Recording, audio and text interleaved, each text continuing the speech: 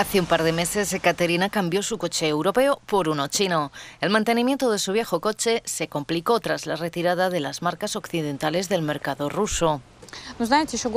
Hace un año muchos tenían dudas sobre los coches chinos. Algunos los compraron y otros ahora tienen una experiencia de primera mano. Así muchos siguieron el ejemplo porque el precio de un coche chino hoy es estable y más o menos competitivo en comparación con las marcas europeas. BMW, por ejemplo, también está representado, pero el precio es muy alto. Después de que Rusia lanzara su operación en Ucrania, empresas de Alemania, Estados Unidos, Corea del Sur y Japón pusieron fin a sus ventas, suministros y servicios oficiales. Algunas vendieron totalmente sus activos rusos. Sus coches y piezas de recambio siguen llegando al país, pero son mucho más caros.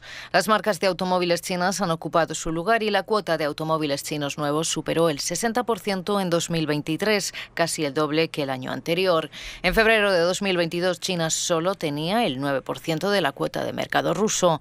Los expertos predicen un mayor crecimiento en 2024, ya que las empresas chinas ya han exportado volúmenes récord de coches a Rusia.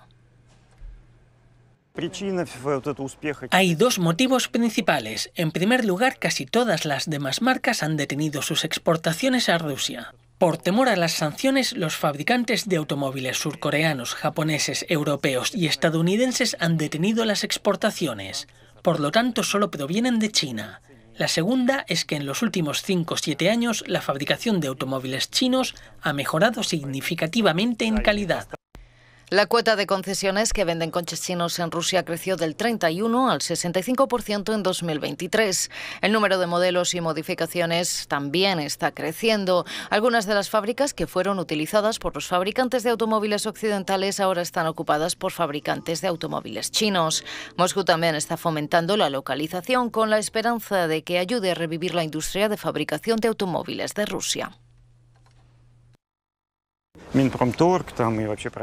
El Ministerio de Industria y Comercio y el Gobierno estimulan e intentan garantizar las importaciones y el ensamblaje en Rusia y luego esperan localizar. Las empresas rusas también intentan cooperar con las empresas chinas para ensamblar coches chinos en el país.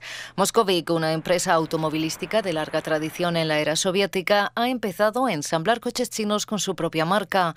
En los últimos tiempos, el panorama de las carreteras rusas ha cambiado radicalmente. Los fabricantes de automóviles chinos ahora juegan un papel principal en el mercado y también en su recuperación.